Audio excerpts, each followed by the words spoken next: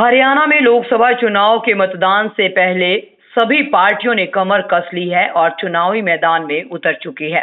तो वहीं इस कड़ी में अंबाला में भाजपा प्रत्याशी बंतो कटारिया भी पूरी तरह से चुनावी रण में कूद चुकी है।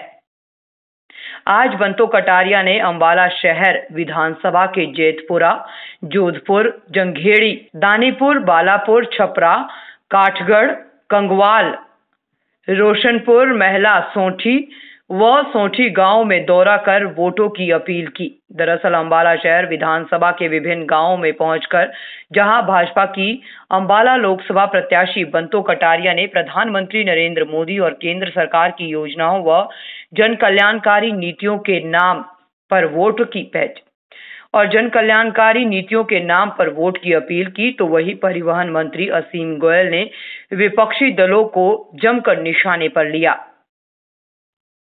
विभिन्न गाँवों में अपने संबोधन के दौरान हरियाणा सरकार के परिवहन मंत्री असीम गोयल ने कांग्रेस पर तंज कसते हुए कहा कि आज कांग्रेसी अपने साथ झूठ का एक ट्रक लेकर चलते हैं तो दूसरा तैयार रहता है। आज इनकी पार्टी की जो हालत हो गई है, उसे देखते हुए ये ऐसे ऐसे वादे आप लोगों के बीच कर जाएँगे कि ये लाल किला तक आपके नाम करवाने का वादा भी कर जाएँगे। बीच में बहुत से लोग आएँगे। क्यों उनको लगने लग गया मोदी जी की इतनी गारंटियाँ हैं। मोदी जी कारण आज आप मोदी जी को आशीर्वाद दे रहे मोदी जी कामों को लेके।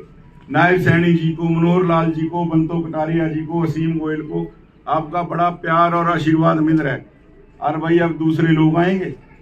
ये कह देंगे हम तो पेंशन पाँच हज़ार कर देंगे। हम ये कर देंगे, इनसे पूछना, जब पुराने साठ साल थारी सरकारें रही, तब कुछ क्यों करने की याद नहीं आई? आज तो कह देंगे जी, हम आयुष्मान पाँच से दस लाख कर देंगे। ये सब कुछ कर देंगे। आज तो चाहे लाल किला अपने नाम करा लियो, धानी पर कर का जाएँगे चुनाव तक। क्योंकि आज तक जिन्होंने कुछ कराया नहीं, मुँह से बोलने में क्या बनता है जी? थूक के पकौड़े बनाने वास्ते किसी सामान की ज़रूरत नहीं। मैं यहाँ कुछ से कुछ बोल जू, लेकिन कल को मैंने जवाब देना आपके बीच में ही मरना, मैंने यही जीना। मैं झूठ बोल के नहीं जाऊँगा। जो काम नहीं होगा, हाथ जोड़ दूँगा, लेकिन कभी लारा लगा के नहीं जाऊँगा। अरे तो लारे का एक पूरा ट्रक लेके चलते हैं कांग्रेसी।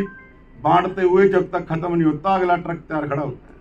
ये बहुत से झूठ लेके आपके बीच में आएँगे। जो देखो पार्टियाँ, एक दूसरे को गाड़ियाँ निकालती थी। इसका उदाहरण मैं बताता हूँ।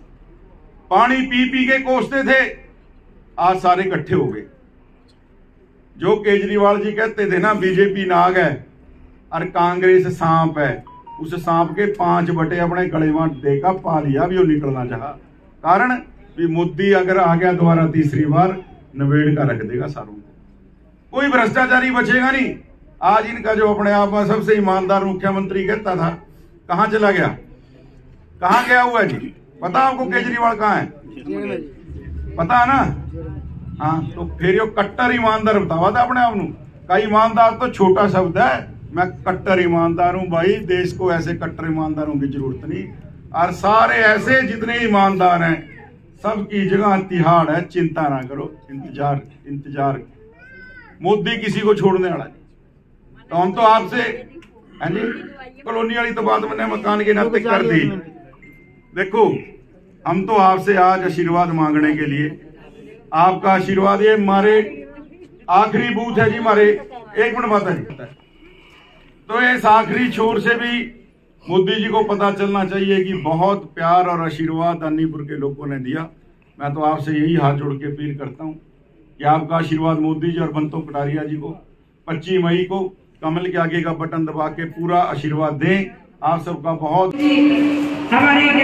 गृह मंत्री जी, हमारे राष्ट्रीय अध्यक्ष जगत प्रकाश नड्डा जी और हमारे हरियाणा के पूर्व मुख्यमंत्री और रीलाल सिंह सैनी जी, इसके अध्यक्ष रीलाल सिंह सैनी जी, अपने जिला के मुख्यमंत्री रीलाल सिंह सैनी जी, सब पर विश्वास जताया और कटारिया जी के परिवार को यहाँ से उम्मीदवार बनाया आप सबकी प्यारी बहन, बेटी जो भारतीय जनता पार्टी की एक उम्मीदवार के रूप में आपके सामने आई है।